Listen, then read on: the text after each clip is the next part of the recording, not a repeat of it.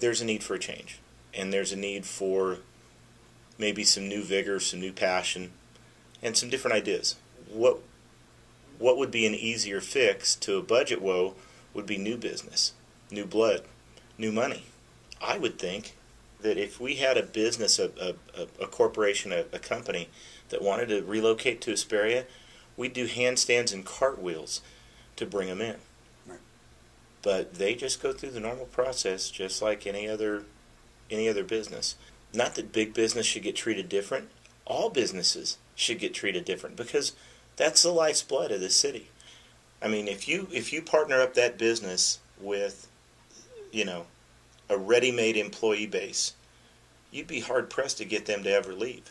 And if you treat them right off the bat, you take care of them, you expedite the process. Okay, sure, maybe they have to pay fees, but maybe you relax some of those fees to begin with. Bring them in.